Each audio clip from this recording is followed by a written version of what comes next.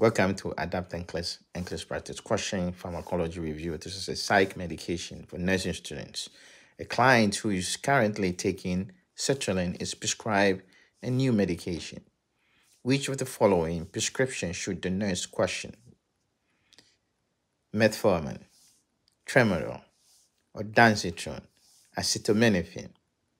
Think about it. If you are the nurse taking care of this patient, you saw this on your NCLEX or nursing school or NC or ATI, and the question is, the nurse is caring for a patient who is taking sertraline, all of a sudden a new prescription is being provided.